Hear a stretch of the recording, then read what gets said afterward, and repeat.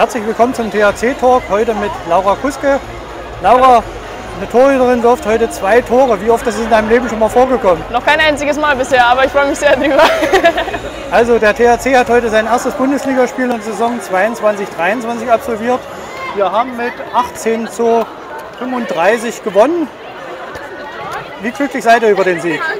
Also wir sind sehr, sehr glücklich über diesen Sieg, weil wir halt einfach nicht wussten, wo wir stehen. Äh, na klar ist die Vorbereitung super gelaufen, aber äh, man weiß nie, wie es dann in der Saison auch ist. Ähm, haben trotzdem noch einige äh, Chancen liegen gelassen, aber ich denke im Endeffekt können wir mit dem Ergebnis sehr zufrieden sein und ja, sind einfach nur glücklich, wie es sich angefangen hat. Wie hat euch Herbert auf das Spiel eingestellt?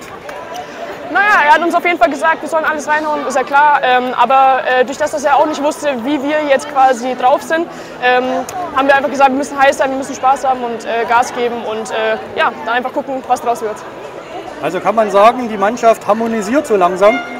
Ich habe auf jeden Fall ein gutes Gefühl. Man muss gucken, wie es sich weiterentwickelt. Ähm, natürlich dauert das extrem lang bei so vielen Neuzugängen, da wirklich eine geschlossene Mannschaft zu werden.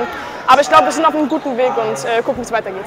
Laura, wir danken dir für das Gespräch und auch viel Glück dabei. Vielen Dank, danke. Danke.